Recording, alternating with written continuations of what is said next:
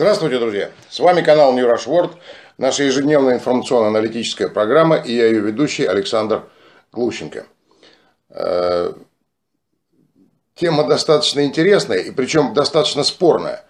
Э, многие из э, тех людей, которые меня сейчас смотрят, возможно, уже сразу после первых моих фраз, после первых моих слов, приготовят тухлые яйца гнилые помидоры и будут с остервенением опровергать то, что я сейчас скажу.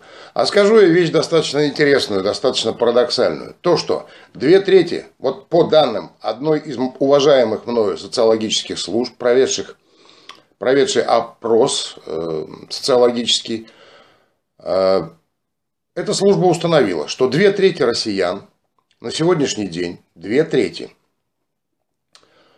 считают самым счастливым временем в истории России время Советского Союза.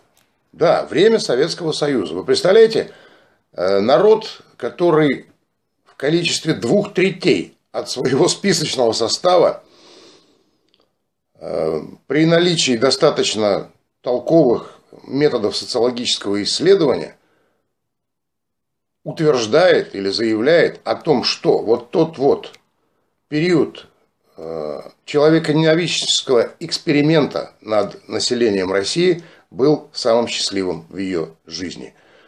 Э, я, в принципе, ну, как бы сказать, не сильно поражен этим, но я не знал, что именно такое количество. Я не предполагал, что именно такое количество. Я могу увидеть брюзжащих там бабушек и дедушек на лавочках возле подъездов, которые говорят, как им хорошо жилось при Сталине, как хорошо жилось при Хрущеве, как хорошо жилось при Брежневе. Э, но самое интересное, если это две трети, значит в эти две трети, э, а у социологов есть и требования к э, возрастным пропорциям, к возрастным квотам, две трети, значит, туда входят еще и люди достаточно молодого возраста, потому что Советский Союз кончился ровно 30 лет назад.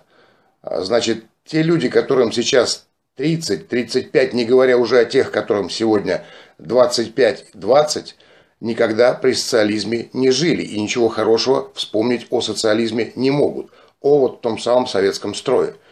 Я прожил достаточно долго в советское время, когда рухнул Советский Союз, мне было 20, если не ошибаюсь, да, 27 лет.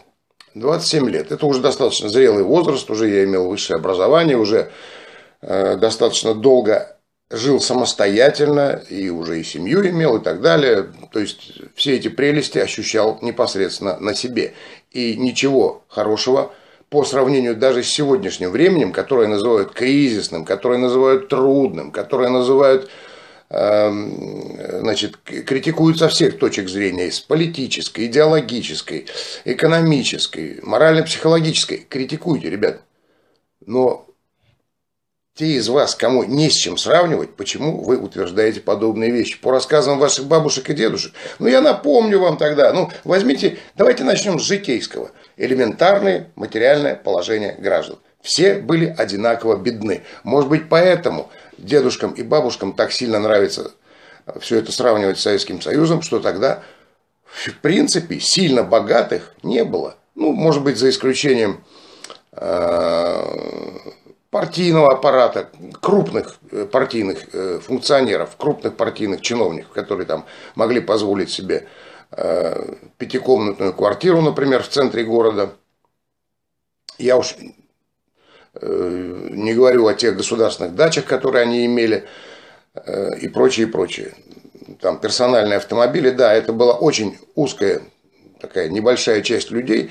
Сейчас в наше время расслоение по материальному, по финансовому признаку более серьезное, но мы прекрасно понимаем, что если хочешь нормально жить, нужно нормально и много работать.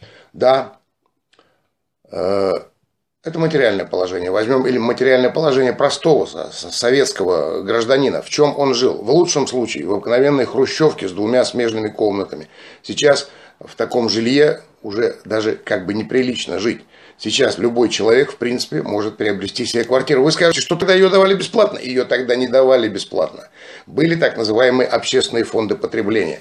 Это все те недоданные вам зарплаты. Вы получали 120 рублей на советском производстве, на советском заводе, на фабрике, там где-то, может быть, в колхозе, совхозе, но вы получали эту квартиру за счет недоплаченных вам денег. Общественные фонды потребления. Эти деньги шли на бесплатное здравоохранение, на бесплатные квартиры, на бесплатные путевки в санатории, на бесплатные пионер-лагеря для ваших детей и так далее. Если бы вам эти деньги выдали на руки, вы бы, естественно, спокойно могли бы покупать себе все, что вы хотите. Посмотрите, какая ситуация была с продуктами. Посмотрите, ну да, просто в магазин ты заходишь, хлеб был всегда, согласен. Хлеб купить можно было, но при этом из остальных продуктов питания все нужно было доставать через какой-то блат. Или покупать на рынке по двойной, а то и тройной цене. Да, вот кусок мяса, килограмм мяса стоил в магазине 2 рубля, но его в магазине никогда не было. А на рынке он стоил 5 рублей. Это вот мои воспоминания, я это прекрасно знаю когда нужно было купить кусок мяса для того, чтобы организовать там какое-нибудь семейное застолье или пригласить друзей и гостей.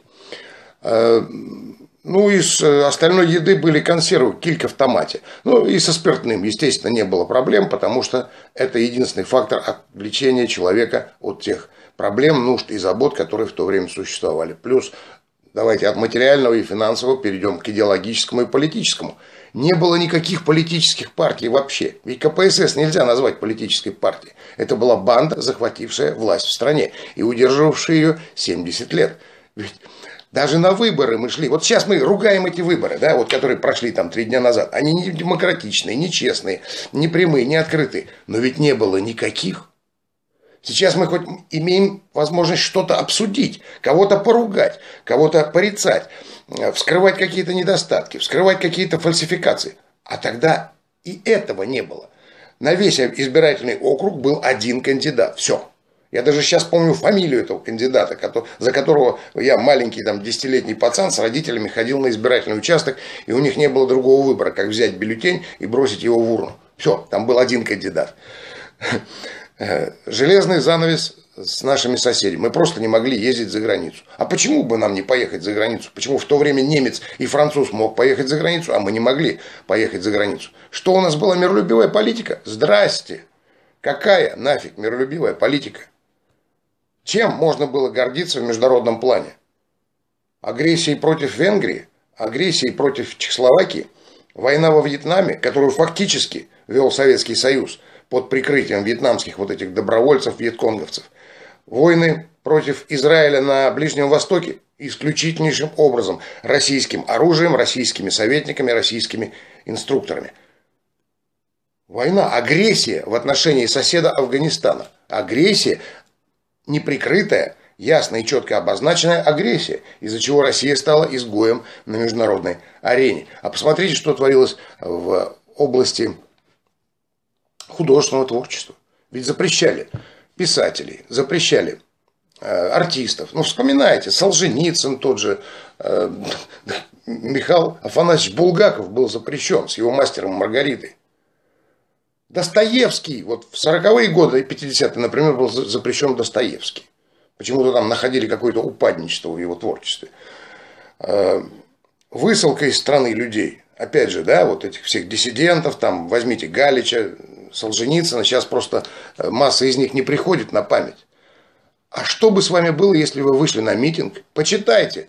Э, прекрасная книга, она в интернете есть в аудиоварианте. «Диссиденты» Александра Подробинника. Как он э, вот просто в художественном стиле описывает, как диссиденты боролись с этой властью. И что они переносили. Их сажали в тюрьмы, их гнобили в этих следственных изоляторах, их отправляли почитайте Новодворскую, в психбольнице специального типа.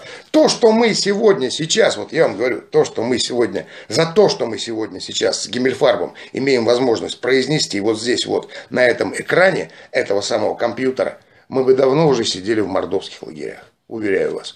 Поэтому сравнивать эти социально-экономические формации не надо. Мы ругаем наше настоящее. Мы ругаем нашу власть. Мы знаем, что она нелегитимна. Мы знаем, что э, выборы нечестные, не открытые, и не прямые, и никакие, скажем так. Но мы должны понимать, что в то время не было и этого. Даже такого не было, даже политических партий.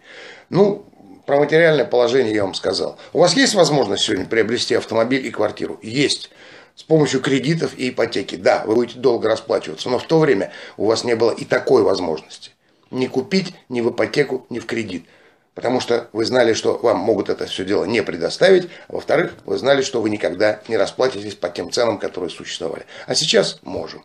Вот, поэтому страна, которая, в которой две трети населения заглядывают в прошлое с вожделением, к сожалению, мне кажется, серьезного, перспективного, доброго, веселого и красивого будущего не имеет. Это мое пессимистичное воззрение на наше будущее.